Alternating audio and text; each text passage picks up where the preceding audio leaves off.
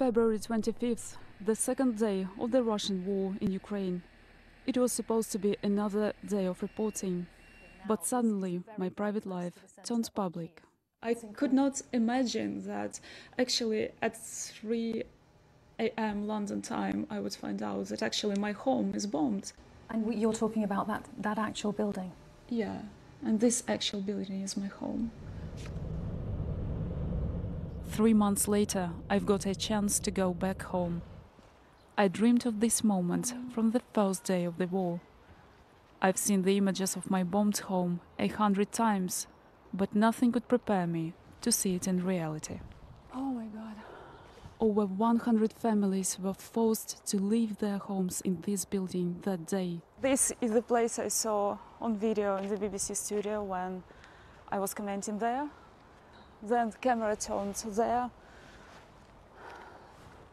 Here is my balcony with Ukrainian flag above it. Despite the risk of collapse, many families are still living here. Let's go.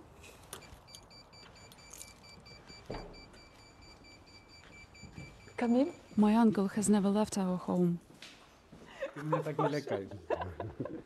Ти мене так не лякай. Дядько. Привіт, привіт, Єсічі. This is the first time I've seen him since the beginning of the war. Стопи стекла. Oh my goodness. Ну, це стільки скла було у Олі в комнаті. Це якщо вона не поїхала б на мівку, то все було б на неї. This is my mom. My mother was sheltering that night in a cellar. I've since managed to bring her to the UK. But the impact on other families was even more devastating.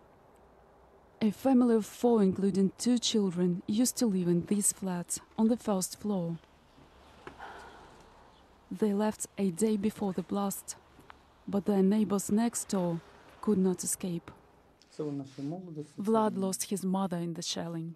Брата викинув в окно, і мати в нас лежача була. Я її взяв на руки і теж витягнув в вікно. Вона ще була жива, але мені кажеться, скоріше всього, вона задохнулася від диму. So painful to see how everything was destroyed. Years of efforts and of care, mm-hmm. of love, which was put here, and it just smashed in a second. My home is one of thousands shelled, and my story is one of millions. Victims of a war that has left around a third of the population homeless.